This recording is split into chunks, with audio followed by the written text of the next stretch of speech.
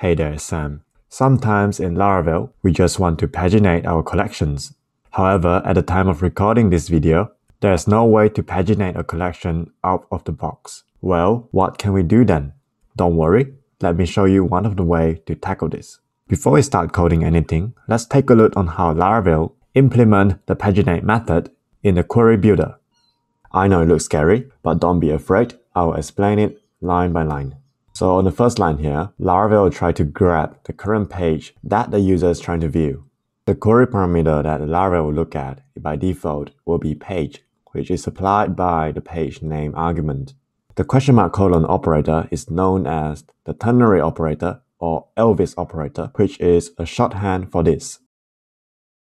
Next, we'll set the size for each page. Laravel will use the per page argument supplied by the user Otherwise, it'll use the default per page number, which is 15. Coming up next, we have the main dish of this function, which is doing all the heavy work of the pagination. So the first part here is basically grabbing the query result count and set it to a total variable. If the total count is not zero, then we'll run the for page method to get the result set from the target page. If the count is zero, however, we will just resolve to an empty collection. The for-page method is the real magician here, and it is very similar to the for-page Laravel collection method. And that is exactly what we're going to use later when we create our own implementation. And lastly, in this function, Laravel pass the results into a paginator. The paginator method will return us an instance of the length aware paginator class. But what the hell is a paginator anyway? To put it simply, a paginator formats our result into a standardized JSON response that looks something like this. Now it's time to code. Let's create a new helper class called collection helper.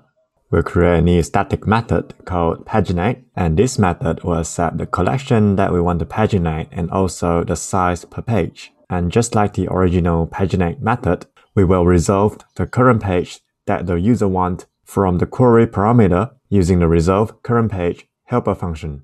We also create a total variable that represents the total count for our collection, which will be used later. Now in the original method, Laravel calls a paginator method in the return statement. Let's see if we can replicate that. Let's just copy the whole paginator method and paste it in in our collection helper class and importing the associated classes.